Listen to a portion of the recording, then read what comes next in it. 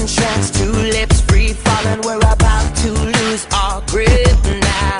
Five, five, five minutes too late, can't be messing with fate. It's time to get loud. Cause we've been up when we should have been sleeping.